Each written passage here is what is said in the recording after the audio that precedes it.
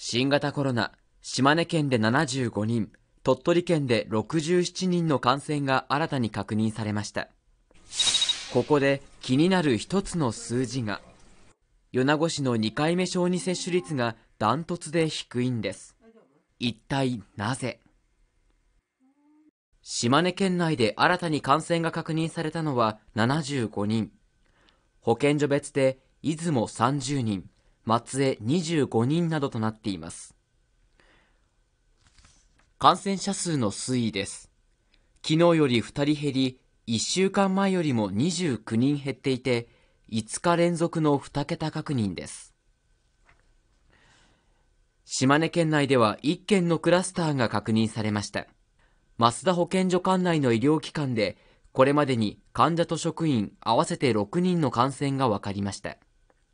接触者が把握されているため、施設名は公表していません。一方、鳥取県で感染が確認されたのは67人。保健所別では、鳥取市38人、米子25人、倉吉4人となっています。感染者数の推移です。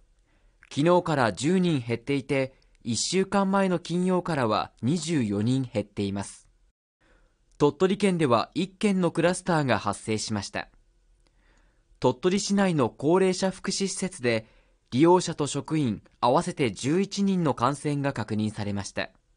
消毒やゾーン分けをして入所事業を続ける一方、通所事業は23日から休止しています。こうした中、5歳から11歳の小児接種について、米子市の2回目接種率が1割にも達していないことが分かりました。一体なぜ？小児接種の開始から2ヶ月余りが経過。山陰両県の2回目接種率は、鳥取県が15.6%、島根県が17.6%と、両県ともに10%台にとどまっています。そして特に米子市では2回目接種率が今月22日時点でわずか8.8%にとどまっていることが分かりました。一体なぜなのでしょうか？もともとはまあ重症化を予防するという目的で、まあ、ワクチンがまあ進められていたと思いますのでオミクロン株自身が、まあ、あのあまりこう子どもの重症化をがあまり心配のないウイルスだというふうにまあ今言われてますけれども子どもがその重症化を予防するためにまあワクチンを打つメリットっていうのがまああまりまあないんじゃないかと思われてるまあご家族ないしね親御さんたちもいらっしゃいますので。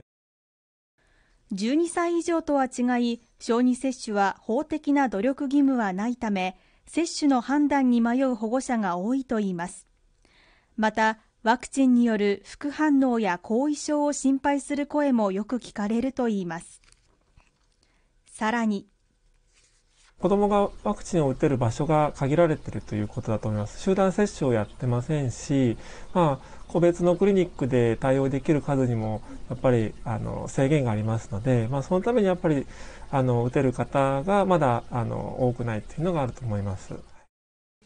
小児接種は1瓶あたり11人の接種が可能ですしかし平日は11人分の予約がなかなか埋まらないためこちらの委員では金曜と土曜のみ接種を受け付けていますで結構小学校でも流行ったりとかしているので